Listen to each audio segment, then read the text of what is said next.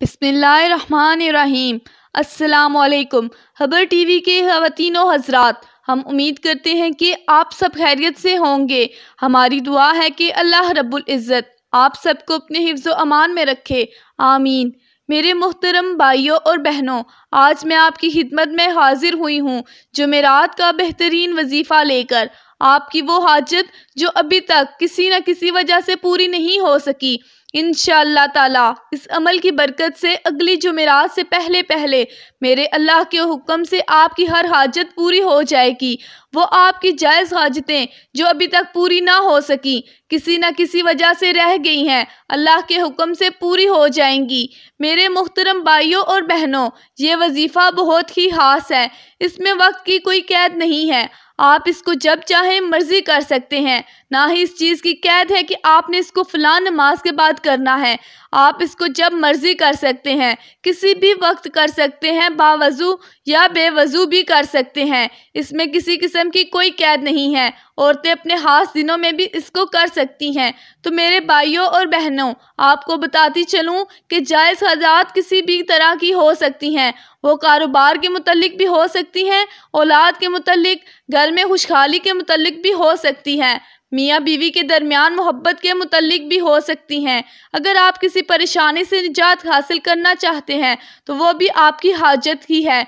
क्योंकि आप ख्वाहिश करते हैं कि मेरी फ़लाँ मुश्किल, फ़लाँ परेशानी दूर हो जाए तो इससे मुतलिक ये नहीं है कि सिर्फ़ आपको कोई चीज़ चाहिए तो वही हाजत। नहीं, हाजत हर उस चीज़ का नाम है, जो इंसान किसी को पाना चाहता है। किसी परेशानी से निजात हासिल करना भी आपकी हाजत ही कहलाता है।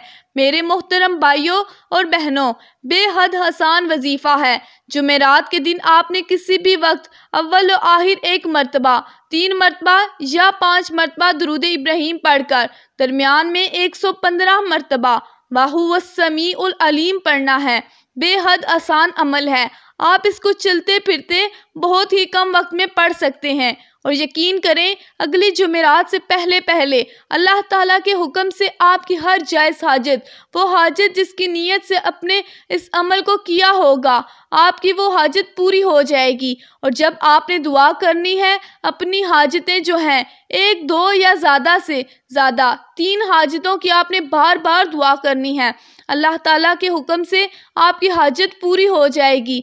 बेशक अल्लाह ताला हर चीज़ पर कादर है, अल्लाह ताला आपकी दुआ को रद्द नहीं करेगा। जब वाहू व उल अलीम पढ़ेंगे तो अल्लाह पाक अपने इस पाक कलाम के सदक़े आपकी दुआ को ज़रूर कबूल फरमाएगा। और ये याद रखें कि पाँच टाइम नमाज़ की पाबंदी करनी है। और मेरे प्यारे बहन और भाइयों, ये बिल्कुल फ़ीस भी लल्ला है। आपको अमल बताते जाते हैं, आप खुदा के लिए उनसे फ़ायदा हासिल किया करें, ताकि जितने लोगों तक मज़ीद ये पहुँचेगा उतने ही ज़्यादा लोग इससे फ़ायदा हासिल करेंगे। क्योंकि हमारे माशरे में हर इंसान किसी न किसी हाजत पूरा होने का तलबगार रहता है।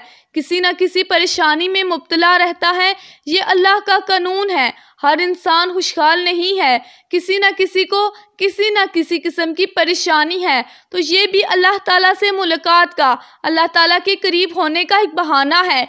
आप इस अमल को ज़रूर करें और पाँच वक्त की नमाज़ पाबंदी से अदा करें और इस वजीफ़े को अपने दोस्तों के साथ और फेसबुक पर शेयर करें, क्योंकि नेकी की बात फैलाना सदक़ जारिया है और अल्लाह ताला को हर वक्त याद करते रहा करें। इन अल्लाह ताला बहुत ज़्यादा आपकी दुआएँ कबूल करेगा। दोस्तों, ये थी हमारी आज की वीडियो। मज़ीद इस तरह की वीडियोस देखने के लिए हमारे चैनल को सब्सक्राइब करना मत भूलिएगा।